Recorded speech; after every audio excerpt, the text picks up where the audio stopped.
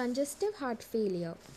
Fundamental problem in heart failure is inability of the heart to meet the metabolic demands of the body.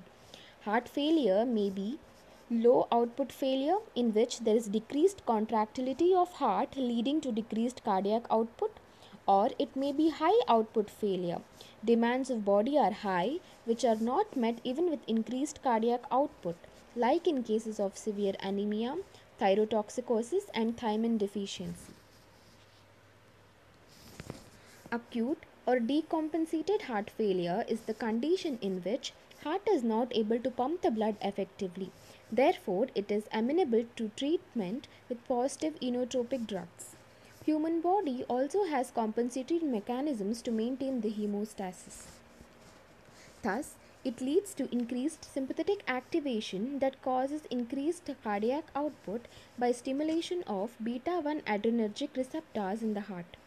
This maintains the cardiac output in short run which leads to compensation of heart failure. But increased sympathetic activity also results in two other effects that is vasoconstriction due to alpha receptor stimulation and increased renin release from the kidney due to beta 1 stimulation. Elevated renin stimulates renin angiotensin aldosterone system thus increasing angiotensin 2 which causes vasoconstriction and aldosterone which retains salt and water and is responsible for cardiac remodeling or left ventricular hypertrophy.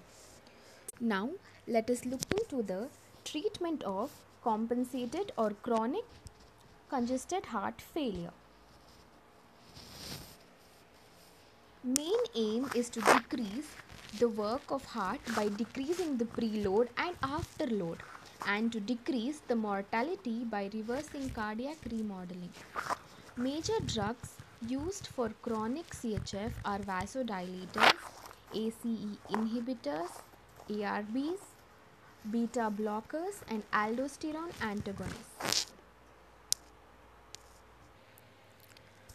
Vasodilators.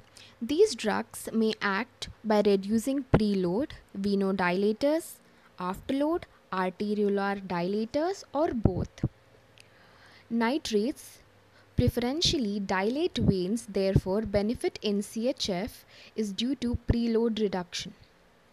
Hydralazine, minoxidil and calcium channel blockers like nifedipine are primarily arteriolar dilators and cause afterload reduction. Calcium channel blockers should not be used in CHF because these drugs may increase the mortality in CHF patients. Agents reducing both preload and afterload include ACE receptors, angiotensin receptor blockers that is ARBs, nitroprusside and alpha blockers. Combination of hydralazine and isosorbide dinitrate has also been shown to decrease the mortality. Other vasodilators do not prolong the survival in CHF. ACE inhibitors and angiotensin receptor blockers. These drugs are indicated in all grades of CHF unless contraindicated. These can decrease mortality in CHF. These decrease the mortality via preventing and reversal of cardiac remodeling due to aldosterone, the final mediator of remodeling. Aldosterone antagonists spironolactone and eplerenone are the aldosterone antagonists. These are used as potassium sparing diuretics. These diuretic effect is quite feeble but in CHF, these drugs reduce the mortality by antagonizing the effect of aldosterone. These can also be added to thiazides if tolerance developed. Now coming to the beta blockers. Previously, beta blockers were considered to be contraindicated in CHF due to their negative inotropic action. But now it has been found that if used carefully, these drugs can increase the longevity of CHF patients. Beta 1 causes release of renin, which stimulate the RAS and finally increase in aldosterone results. Beta blockers antagonize this pathway, resulting in reversal of remodeling. Most widely used beta blocker is carvedilol, followed by metoprolol and bisoprolol. These are best indicated in mild to moderate heart failures with dilated myocardiopathy and are absolutely contraindicated in decompensated heart failure. These should be started at very low doses and the dose should be gradually increased to get the maximum benefit. Vasopeptidase inhibitors.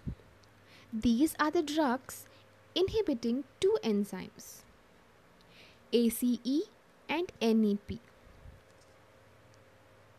These can be used orally for the treatment of chronic CHF. These drugs possess all the actions of ACE inhibitors and also results in natriuresis due to increased BNP that is decreased metabolism due to inhibition of NEP. Major limiting factor of these drugs is angioedema.